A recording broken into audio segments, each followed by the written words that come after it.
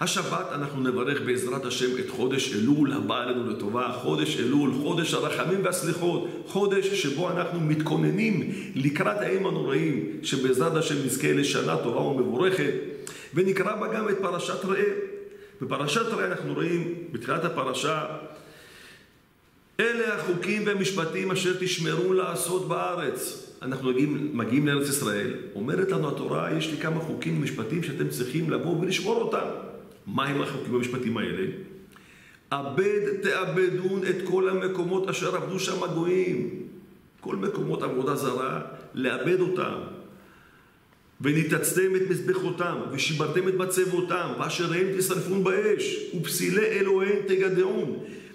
ואיבדתם את שמם מן המקום ההוא, לחסל את הכל, לא להשאיר כלום שם, שום אבן על אבן. איך? אבל ריבונו של עולם, אנחנו יודעים שהתורה שלנו דרכיה דרכי נועם וכל תימותי השלום, פתאום אנחנו רואים כזאת אגרסיביות, אל תשאיר כלום, תהרוס את הכל, תשטח את הכל. איך?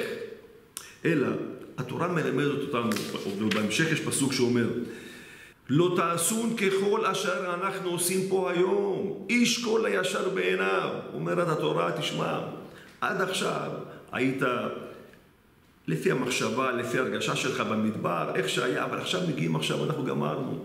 עכשיו אתה צריך לראות מה שהתורה אומרת לך, את זה אתה עושה. וגם כשאתה רואה שזה אגרסיבי, לפעמים גם אותה, אותה אגרסיביות היא לפעמים רחמים. והפוך, לפעמים הרחמים זה אגרסיביות, הרחמים זה אכזריות לפעמים. כולם מכירים את זה. כל המרחם על האכזרים, סופו להתאכזר על הרחמנים.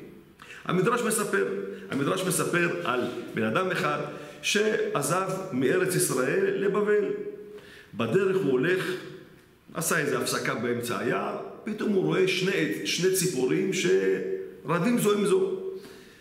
ובאה ציפור אחת, הרגה את השנייה.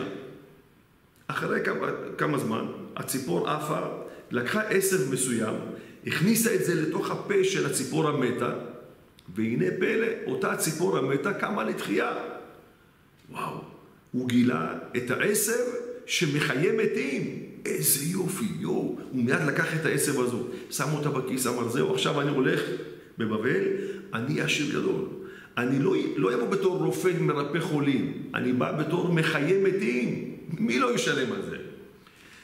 הוא הולך עם זה, ועכשיו הוא חושב, איזה יופי, הוא כבר מתכנן את התכנונים שלו, אני אקנה פה, ואני אעשה שם, אני, אני, אני, אני.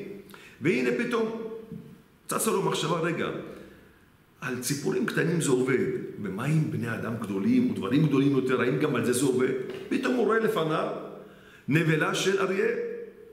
אריה מת, הוא על הכביש. טוב, אמר, בוא, בוא ננסה. לקח, שם את אותו עשב על הפה של האריה, האריה התעורר ואכל אותו והרג אותו. טוב, עכשיו, המדרש לא סתם מספר את הסיפור הזה. מה, הבן אדם הזה עד כדי כך טיפש? מה, אתה לא יודע שאריה יכול לטרוף אותך ולהרוג אותך? אלא, יש פה מסר עצום וחזק ממנו. הטעות של אותו אדם, מה הייתה? הטעות שלו הייתה שהוא חשב שלרוע יש גבולות. הוא חשב שגם ל... לרע גם לא יש מצפון, לא יכול להיות. מישהו שהחייה אותך, אתה תבוא ותהרוג אותו? אבל הוא טעה. המדרש מסביר לנו, הוא טעה. דע לך, לרוע אין גבולות. דע לך שגם לרוע אין לו מצפון. אין לו מצפון. אנחנו רואים את זה היום. אותם הערבים, יימח שמם ושם זכרם. ד, ד, הם, לאן הם הגיעו? דווקא לאלה שעזרו להם באותם הקיבוצים, אותם הכפרים, אלה שתמכו בהם, אלה שנתנו להם את הכל. דווקא אליהם הם הגיעו ורצחו אותם בדם קר. גם פה עכשיו אנחנו נמצאים פה בווינה, באירופה. אירופה חושבת, לא, לא יכול להיות שאנחנו נבוא ונעזור לאותם הפליטים המסכנים, נבוא וניתן להם כסף וניתן להם ו... ו... ו... ו... לא יכול להיות שהם יקומו נגדנו. טעות מרה בידיכם. לא, אנחנו, עובדה אנחנו רואים את זה. לכן, כמה, כמה זה מצער לשמוע לפעמים, אתה שומע שופטת בישראל שאומרת, אין מחבל רע, יש מחבל שרע לו. בר מינן, איזה, איזה שטות יכולה... ואתה רואה לפעמים, עדיין יש אנשים, למרות השביעי באוקטובר, עדיין יש אנשים שחושבים שאפשר לבוא ולדבר ולעשות שלום עם אותן מפלצות, והוא רחום מכפר עוון. אבל אנחנו יודעים, אנחנו ברוך השם זכינו, ש...